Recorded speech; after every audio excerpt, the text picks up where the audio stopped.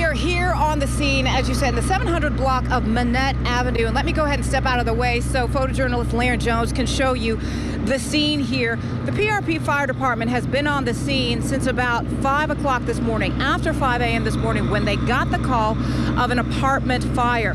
When they arrived, two apartments were actually fully involved. There was heavy smoke in a downstairs apartment and an upstairs apartment, which housed two different families. Now, one thing that the chief of the PRP Fire Department said smoke detectors save lives because they both had working smoke detectors. The resident on the bottom was able to escape on his own, but the heavy smoke on the second floor allowed the two residents, a father and daughter, upstairs.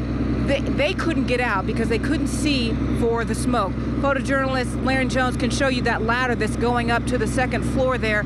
They had to make a rescue of those two people in that upper apartment. But the good news is all residents made it out okay.